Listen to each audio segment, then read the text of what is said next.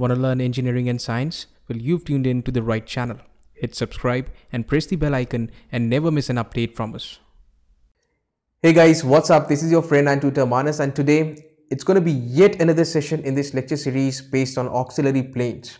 Okay, so this is going to be the second lecture and today I'm going to be discussing a problem which I'll be solving with both the methods simultaneously. I'm going to be using the change of position method and I'm going to be using the new one that is the auxiliary plane method both of them simultaneously. Now the problem that i'm going to be taking up is based on projection of planes. So here we go. Now as far as this particular problem is concerned let me tell you um, it's completely based on a hexagonal surface or a regular hexagon you can say whose surface makes a certain angle with the horizontal plane. Let me show you. This is what you call a regular hexagon. Its surface is making an angle of 45 degrees with the HP okay something of this sort so the surface is making an angle of 45 degrees with the horizontal plane and apart from that there is one more thing having one of its sides in the HP. So when we do this, when we incline the surface, we need to make sure that one of its sides, let's say this one, remains in absolute contact with the horizontal plane. Let's say this is the horizontal plane, it remains in contact with the HP. Okay, apart from that, there is something else which is extremely important and that's the angle that this edge this edge makes with the VP.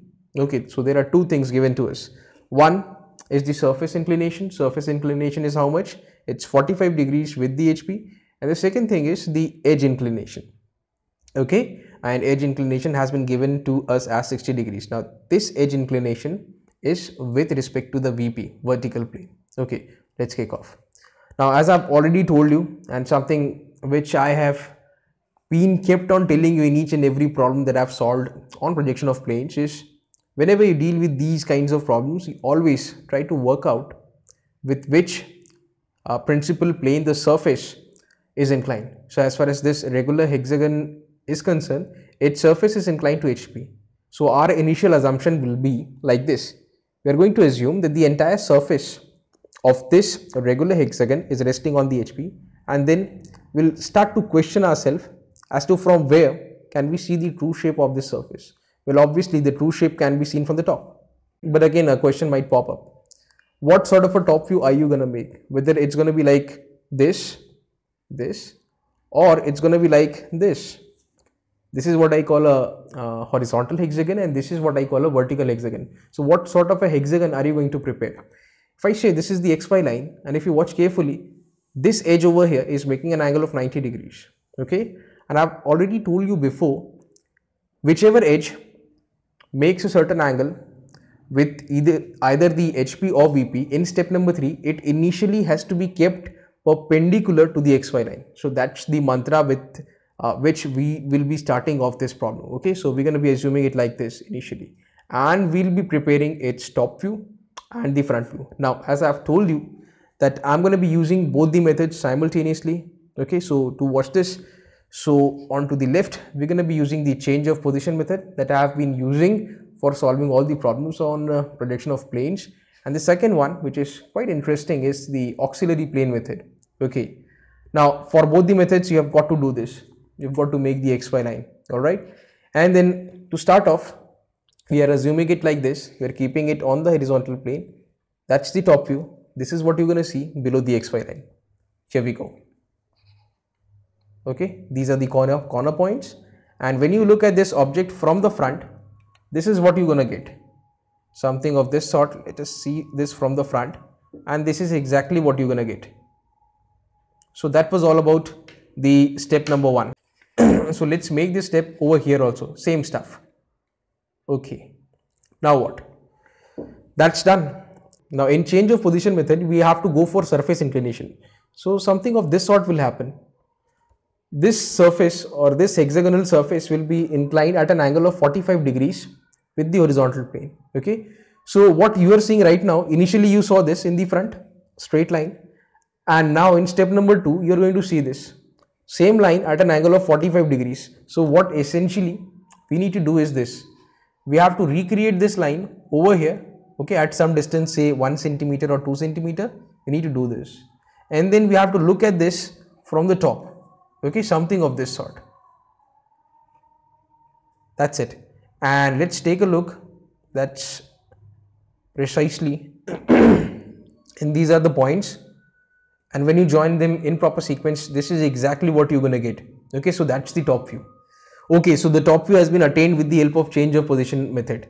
Now let me tell you something. This can also be achieved in less time with the help of auxiliary plane method. Let me show you how that can be done so here is the object. And instead of changing the position of the object with respect to the horizontal plane at an angle of 45 degrees what we'll do here is we'll keep the object as it is okay grounded.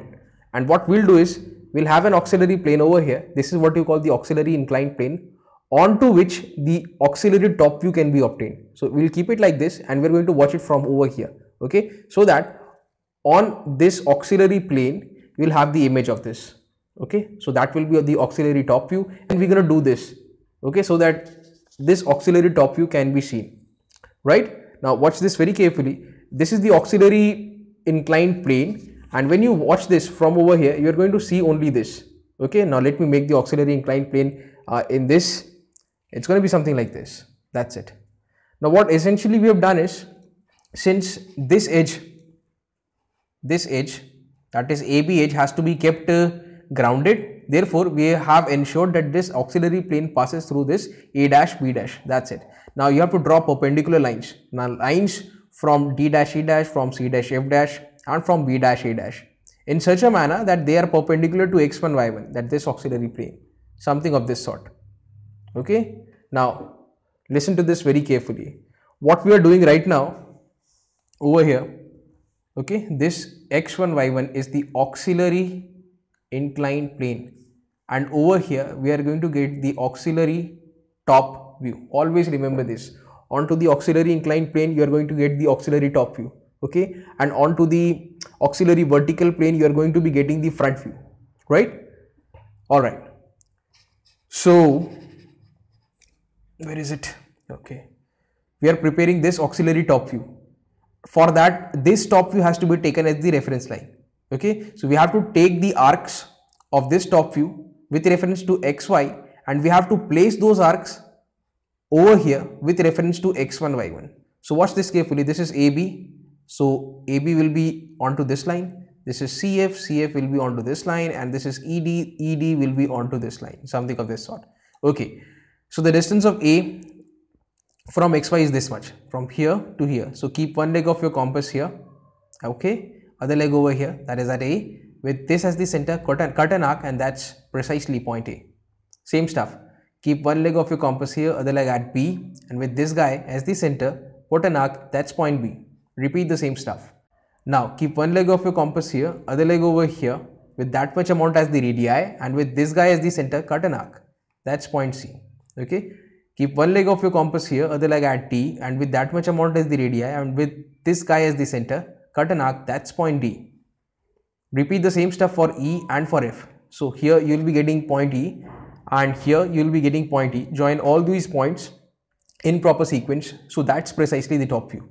This is the top view and obtained with the auxiliary plane method and this over here is the top view obtained with the help of change of position method. Both of them are exactly same and you can clearly see the amount of time taken in auxiliary plane method is far less than this one, this change of position method. Okay. Now that's done. What's the final step? Okay let me explain you this once again. So this is step 1 okay. This is step 2 surface inclination at an angle of 45 degrees with HP and this is going to be step 3 something like this. You can do it like this or you can do it like this. The edge is to be inclined at an angle of how much? Let me see 60 degrees with the VP do it like this also. Okay. Here the angle is going to be equal to 60 degrees. That's it so what essentially we're to do is it's to be pretty simple first of all let me make a line at an angle of 60 degrees. If you see this, this is sort of a rectangle, okay, sort of a rectangle in which there is this hexagon, squeezed up hexagon you can say. So I'm to be recreating this rectangle, same dimensions over here and I'm to fit in this entire stuff, this hexagon, something of this sort and let me name these points, that's it. And now what we'll try to do is, we'll try to look at this from the front. So ultimately we're going to be creating the front view. Okay? Like this. Let me have the lines. Here we go. These are the intersection points and that's exactly what you get finally. And this is the final position obtained with the help of change of position method. Now let us try to do the same stuff with the help of what you call the auxiliary plane method. Okay, so what we've got right now is this. Top view, okay, or the auxiliary top view, which is exactly the top view of step number two in the COP method, that is change of position method. What we need to do right now is we need to incline this edge, that is AB edge, which right now is grounded at an angle of 60 degrees with the vertical plane. Okay, so since we have to incline this with the help with respect to the vertical plane, let us get a vertical plane and that is something that I call the auxiliary vertical plane onto which the auxiliary front view can be obtained. So this is the front view which we have obtained in the vertical plane and over here we're going to be obtaining that same front view which is known as the auxiliary front view in the auxiliary vertical plane. For that what I'll do is instead of changing the position of this entire object okay what I'll do is let the object remain here and let me fit in this this over here guys is what you call the auxiliary vertical plane which right now has been kept at an angle of 60 degrees with respect to this AB okay? Now here AB was drawn again recreated at an angle of 60 degree. So instead of recreating this what we have done is we have placed the auxiliary vertical plane itself at an angle of 60 degrees okay? Now you have to project lines from all these points from A, B, C, D, everywhere from all the six points in fact. And in such a way that they intersect this line or pass through this line x2, y2 at an angle of 90 degrees something like this. Now again what we'll do is we'll create the auxiliary front view. So what are we creating? We are creating the front view. So we have got to make use of this front view over here, this front view. Okay. So this is the reference line about which we, we're going to be putting up arcs okay and this is the front view which has already been made all right so before x2 y2 we have x1 y1 and this was the front view. So what we'll do is for a we have this line for b we have this line. So watch this carefully guys. Distance of a dash b dash from x1 y1 is how much? 0 so the distance of a from x2 y2 will be 0 so a point is going to lie here only. That's it. Or a dash whatever. Um, let's work out B. So B is going to be somewhere here.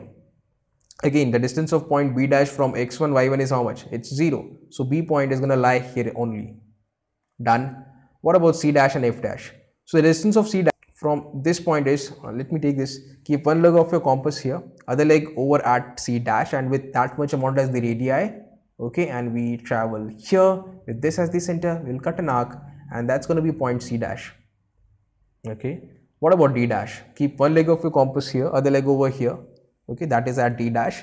And with that much amount as the radii, we're going to travel here, here. Okay, with this guy as the center, put an arc and that's going to be point D dash. Repeat the same stuff and this is what you get finally. Okay, same stuff, same stuff. Okay, so that's the final front view obtained with the help of change of position method and that's the final front view obtained with the help of auxiliary plane method. Time taken, you can make a comparison. The time taken by auxiliary plane method is very less than the time taken by change of position method. Alright, it's absolutely up to you which method you want to use and both the methods are extremely good. So guys, that was all from my side for today. If you've got any doubt or query to write them down in the comment section below, I'll be very happy to answer them. And if you believe that this video tutorial has added value to your knowledge of engineering drawing, then do share and like this video, subscribe to this channel and also recommend this channel to your friends and classmates so that they can also benefit. Well, I'm going to be back with more such videos. I'm going to be doing one more tutorial on the projection of planes and we're going to be solving that same problem simultaneously with the, both the methods. Change of position method also and we're going to do that same stuff uh, with the auxiliary plane method also. And after that, I'll be doing a tutorial on uh, projection of solids and I'll also do a tutorial on projection of line also, especially uh, when the true length of a line is supposed to be calculated. That is something which is very challenging. Okay, so that's it for today. Take care. Bye bye. Good night.